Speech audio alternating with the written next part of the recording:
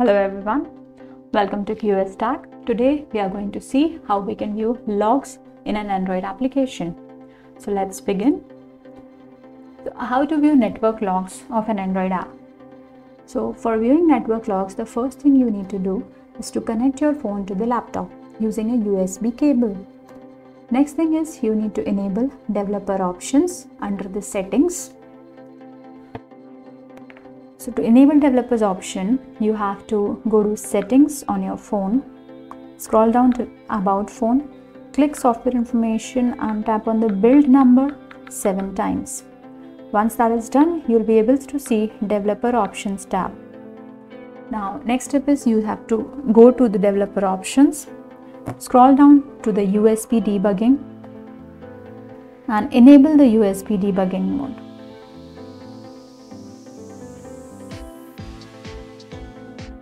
That's it, you're good to go. Now next thing is you have to open your Chrome browser and navigate to the URL Chrome Inspect Devices. So let me do that.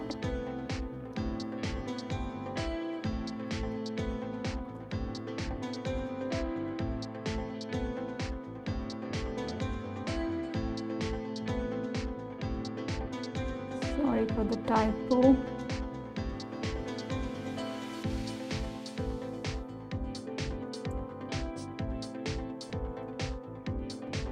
So once you log into this page, then any network activity performed on your phone will be recorded on this page.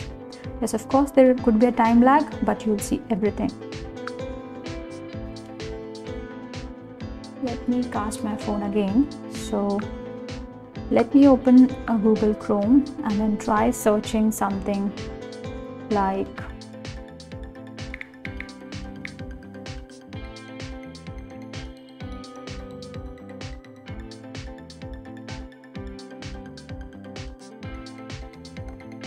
Now let's go back to the Chrome devices. So here you'll be able to see the recent activity. Once you click on inspect, DevTools will be launched. Let me maximize it. So this will be showing exactly the same screen which you're on on your phone. And from here you can uh, play whatever activity you perform.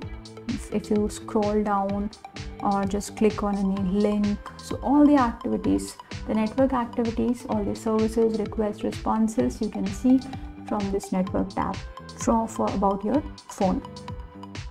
So this is the way how you can view network logs for any native application or Chrome browser, anything. So let's move on to our next topic that is how to view Android application logs.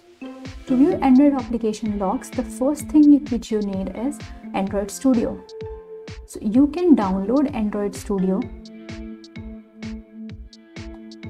I'm sorry, yeah. So you can uh, download Android Studio from Google, and uh, once you once the download file is completed, you have to double click on the file and then follow the installation instructions. Now, once the Android Studio is downloaded, you have to launch it. Let me launch Android Studio in my phone.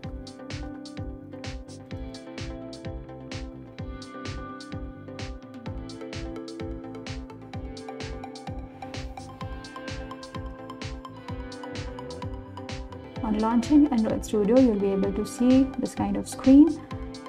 And the first drop down will indicate will show you the device name which is connected. Right now i'm connected with samsung m40 then it will give me the debuggable processes here i can select my application the debug version of the application it is mandatory that you are having the debug version of the application installed otherwise you won't be able to see logs the next thing is uh, the log type so right now I've selected Verbose to display all the logs.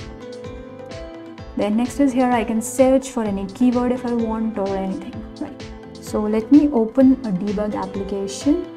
Again going back to my phone's screen. So let me open this application. This is a demo application which I have downloaded from Google. So in my Android Studio, let me select this debug application now I can see the log specific to this application and I can search for any error or any keyword. So this is how you can easily see the application logs. Now next thing is how to view Android screen on laptop. So you might notice that I am casting my screen here in the laptop. So let's see how we can do that. So for doing that, you need to install an extension called Vysor. You can simply put Vysor extension on Google and you'll be able to download the extension. Once the extension is downloaded, you'll see this kind of icon. You just have to double click on this icon and you'll be able to navigate to Vysor's main screen. So let me click on it.